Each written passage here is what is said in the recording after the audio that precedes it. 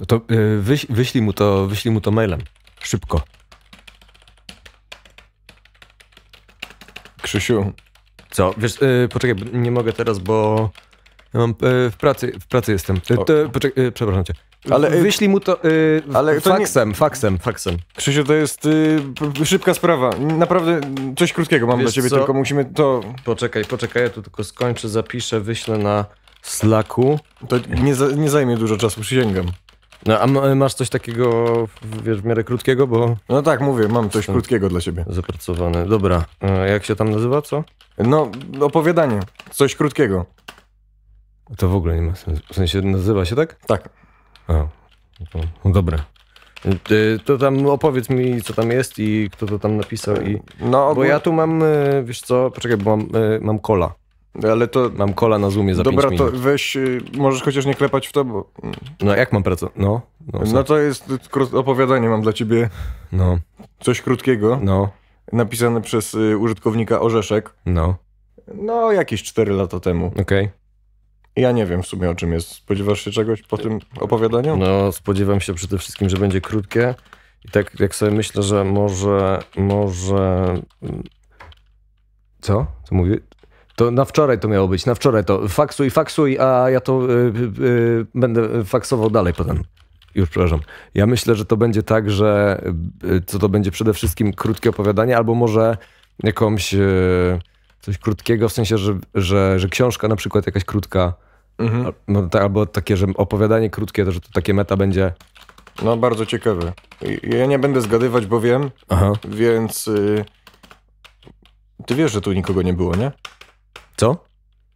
To czytaj, a ja ty, tylko, tylko skończę i wiesz co, ja mam za, za tak za 8, 8, 9 minut mam lunch break, Y, to może wtedy z tobą porozmawiam y, o tej historii. Tylko teraz jakbyś mi nie zawracał głowy. Czytaj tam. No, no dobra, no to...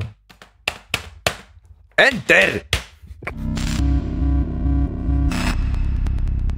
Nie pamiętał, kiedy ostatni raz był w bibliotece. W gruncie rzeczy nie miał pewności, czy kiedykolwiek w jakiejś był.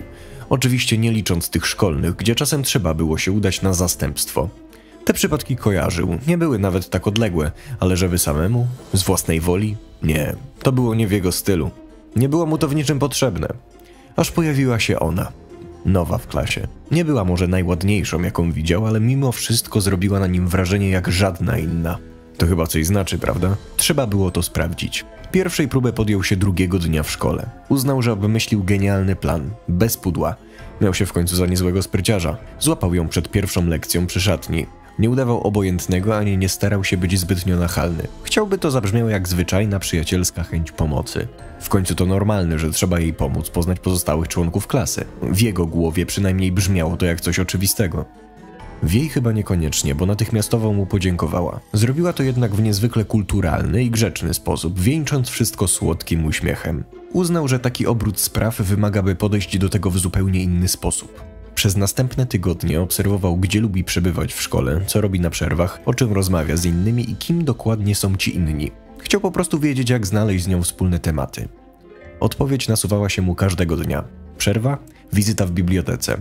Główne tematy rozmów? Książki. Z kim rozmawiała? Z kujonami. Chociaż z początku miał wrażenie, że wyzwanie, które przed nim stanęło, może być niemożliwe do sprostania, nie chciał się poddać tak łatwo. Musiał chociaż spróbować. Jedna książka, jakaś najkrótsza, to już będzie start. Porozmawia z nią o niej, może poprosi o nazwiska ciekawych autorów, których nigdy nawet nie sprawdzi, potem już jakoś pójdzie. Na pewno. Nie mógł z oczywistych względów iść do szkolnej biblioteki.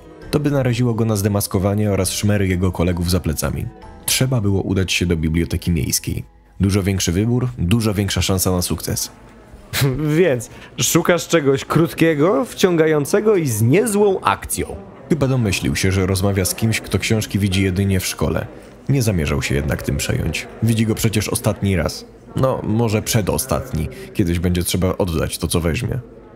tak, dokładnie. Czy znajdzie pan coś takiego? Zależy mi. Uśmiechnął się szeroko, by zasugerować, jak wielki entuzjazm nim kieruje w poszukiwaniu wymarzonej lektury. W naszej bibliotece? No nie sądzę. Jego wzrok był nieruchomy. Oczy obserwowały go z za grubych szkieł okularów. Wzrok zapewne zniszczył sobie podczas wielogodzinnych sesji czytania. Poważnie? Ani jednej? Nie starał się nawet kryć rozczarowania. Jego plan właśnie sypał się w fundamencie. ale za to w mojej osobistej kolekcji i owszem, to będzie odpowiednie. Spod biurka wyciągnął coś, co początkowo wyglądało jak minimalnie przerośnięte pudełko zapałek. Jednak gdy zobaczył to z bliska, uświadomił sobie, że to malutka książka. Pewnie w wersji pocket. Słyszał o takich w rozmowach, które podsłuchiwał. To na pewno była właśnie ta cała pocket. Nie ma pan pojęcia, jak bardzo jestem wdzięczny. Ile płacę? Cena jest jedna, ale nie można jej określić jako materialną. To bardziej coś w rodzaju zasad korzystania, coś jak instrukcja. Nie wiedział, czy staruszek żartuje, czy jest teraz poważny. Nie umiał tego wyczytać z jego oczu czy mimiki. Uznał więc, że bezpiecznie będzie dopytać się, co ma na myśli. Nie rozumiem chyba, o czym pan mówi.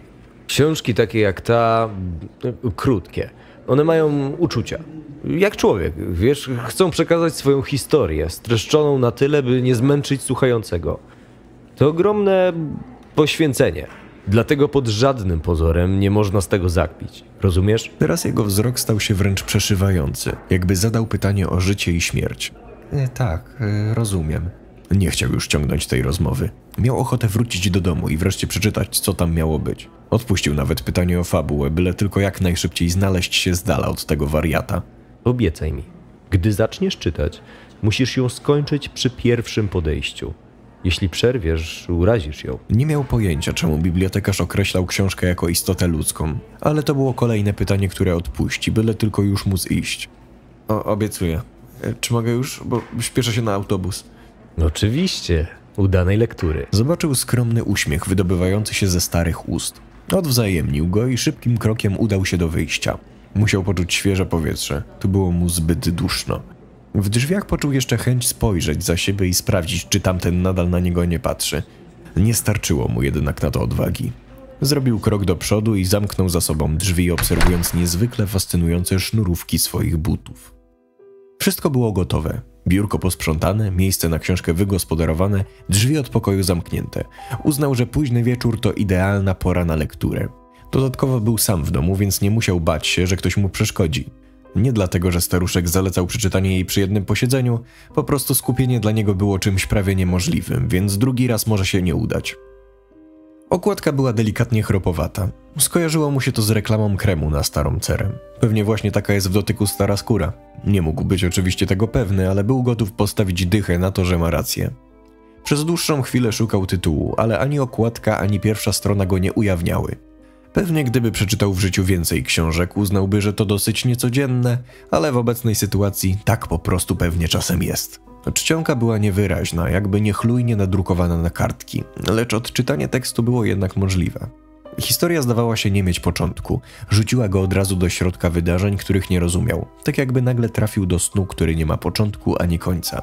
Jest tylko jedna bieżąca chwila wyrwana z kontekstu. Podobnie było z tym, co analizowały jego oczy. Osoba, którą uznał za bohatera, pracowała przy maszynopisie. Właśnie miała napisać pierwsze zdanie swojej powieści, lecz w momencie, gdy miał już odwrócić kolejną stronę książki i poznać dalszą historię, usłyszał głośne pukanie do drzwi. Poczuł, jak mięśnie w jego ciele lekko się spięły. Nie bał się, ale mimo wszystko ogarnął go niepokój. 23.22. Za późno jak na gości, więc to była albo pomyłka, albo żart. Jeszcze raz zastanowił się, czy na pewno zamknął drzwi od mieszkania na klucz i gdy miał już wrócić do czytania, mieszkanie ogarnęło ponowne pukanie. To już nie mógł być przypadek. Lekko speszony ruszył do drzwi, ale nie otworzył ich. Zdecydował, że rozsądniej będzie użyć wizjera. Ku swojemu zadowoleniu nie ujrzał nikogo ani niczego, co mogłoby chcieć dostać się do środka jego domu. Błyskawicznie zszedł z niego cały stres, a ciałem znowu zawładnęło rozluźnienie. Wrócił do książki, by wreszcie przewrócić stronę. Przypadek, lub raczej zabawne zrządzenie losu. To jako pierwsze przyszło mu do głowy, gdy odczytał słowo po słowie to, co miała do ukazania następna strona. Zmienił zdanie, gdy jego oczy zaczęły wreszcie odczytywać pierwsze zdanie bohatera opowieści. To, co wstukał w maszynopis, nie wydawało się być przypadkiem, a już na pewno nie brzmiało śmiesznie. Kolejny śmiałek odczytać miał me dzieło. Nie podołał i odszedł, zostawiając arcydzieło. Drzwi sprawdził i spojrzał, czy czegoś za nimi nie ma, lecz w pośpiechu zapomniał, że nie zamknął ich jednak na klucz z powodu swego lenia. To czas najwyższy, chłopcze, by poznać tytuł książki, więc zamknij ją i przyjrzyj się, bo jest już za tobą ten, kto uśmiech ma szelmowski. Słyszał, jak bije jego serce. Chociaż teraz odpowiedniejszym słowem byłoby waliło. Nie mógł uwierzyć, że to, co się dzieje, jest rzeczywistością. Zamknął na moment oczy, licząc, że gdy je otworzy, zobaczy poduszkę, a to wszystko okaże się tylko złym snem. Jednak to się nie stało. Zamknął więc książkę. Tytuł był jednak na miejscu. Tak jak i postać z szelmowskim uśmiechem.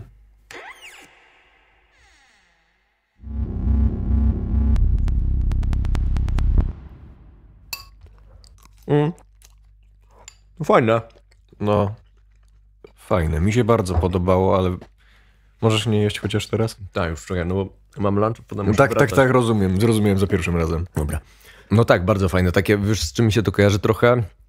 Z takim, e, e, takim Jumanji, takim creepy jakby. Dżum... Znaczy, chociaż to nie jest. Nie wiem, bo to mam takie skojarzenie, że jakby, że on to czyta i to się dzieje, ale to nie jest tak w sumie. Ale wiem, jak, wiem co było. Przepraszam. No, y,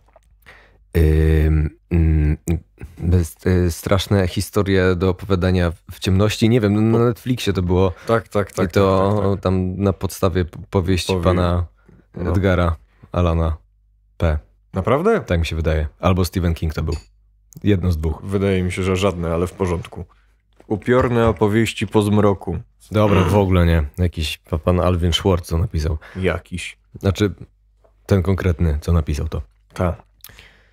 I tam, no w każdym razie, tam też był taki premis, wydaje mi się, że, że oni czytali te książki i potem wiedzieli jakby, co tam się, się wydarzy, albo wydarzało im się to, co było w tych historiach, w tym mieście. Coś takiego tam było. Tak, Ale mi się wydaje, że no właśnie, że to były takie predykcje. Nie, że to były takie to były takie przepowiednie jakby na to, co się wyda- tego, co się wydarzy, a tutaj to ta historia, wydaje mi się, ona była bardziej sama się zmieniała ze względu na outcome. Chyba, że to był taki... No dobra. No, Nie wiadomo w sumie. No bo to mógł być też taki prank, że jakby... Bo to... O, No bo- wiesz, kto by to mógł- mógłby to być ten e, bibliotekarz również. No mógł być. Że on to napisał, dał mu tą książkę i Mhm. potem mu zrobił pranka na podstawie tego, co tam na, na, wy- na wypisywał. Tak. I gorzej by było, jakby nie otworzył tych drzwi albo nie poszedł tam w ogóle. No i on się szelmowsko uśmiechnął. Ale on widział, że widać było po tym chłopaku na pewno, że on jest taki lekko nierozgarnięty.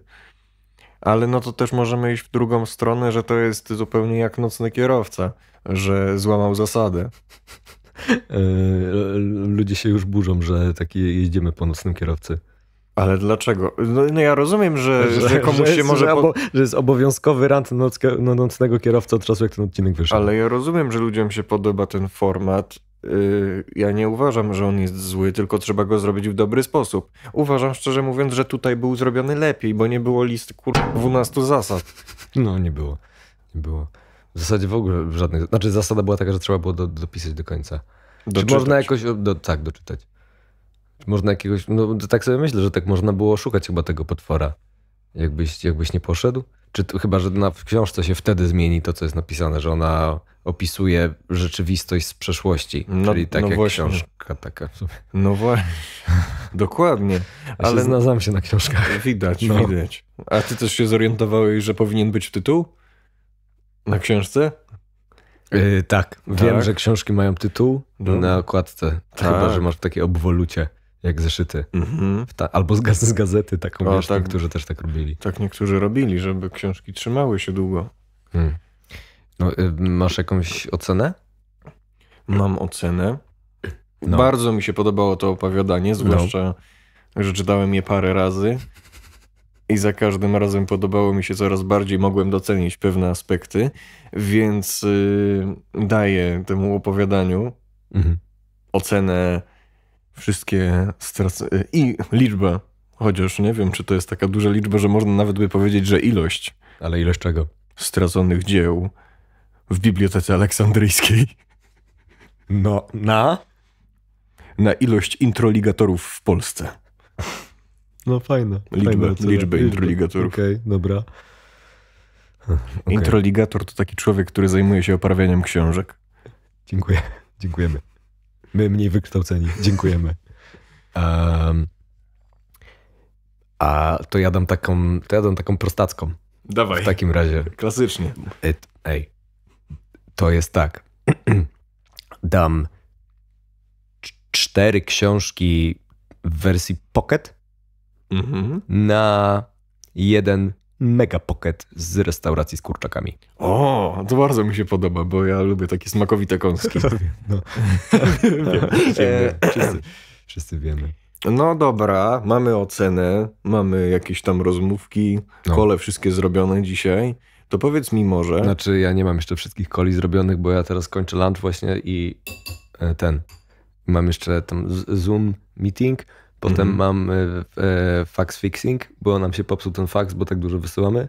mhm. I potem, e, potem mam przerwę na e, lunch znowu. no bo teraz jest brunch. Bo, e, tak, bo mi się pomyliło, bo ja tu pracuję od tygodnia dopiero. Oraz Mhm. też, jak już to skończymy, to mamy z team liderem spotkanie. Jest ma, my, ta, town hall, wszyscy się zbierają. Co jest, przepraszam? Y, takie zebranie, y, jak na wiosce kiedyś miałeś, że wszyscy przychodzili i burmistrz mówił tam, że przestańcie sikać na mury. A, no, a, co się a, wtedy no. robiło, nie wiem jakie były problemy. To, to, to my też mamy takie, tylko że burmistrzem jest nasz team, mm, e, team y, leader, manager Mhm. i on y, rozmawia. Okej, I wszyscy tam są, całe miasto, znaczy cała, cała firma. Cała firma. cała firma. I na czym to ja. Aha, no w każdym razie tak. Y, Coś jeszcze chciałeś zapytać, bo się roz, rozkręciłem. No, bo- Przepraszam, bo ja jestem jedną nogą w pracy. No ja rozumiem, widzę. Yy, no to... Wnioski jakieś? No właśnie chciałem zapytać o wnioski, morał jakiś z tej historii. Morał taki jest według mnie, że może czasem warto się trochę zebrać na ambicje i przeczytać, albo tak zrobić więcej niż minimum. To zdecydowanie. Szczególnie jak się chce wyrwać jakąś fokę. A to ciekawe, bo ja miałem takie trochę... Trochę chciałem taki bardziej heartwarming. A no. że jak chcecie komuś zaimponować, tak za bardzo właśnie, że musicie zmieniać całego siebie, to raczej nie jesteście dla siebie.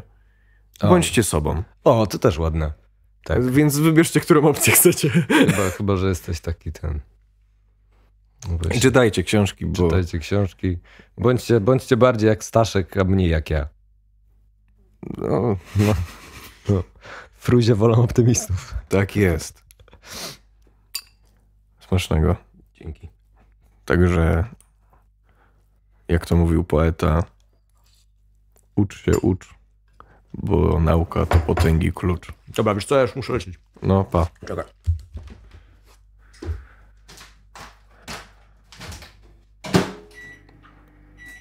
Mi, y, rybę w mikrofali znowu? Ja nie wiem, jak to się wyłącza.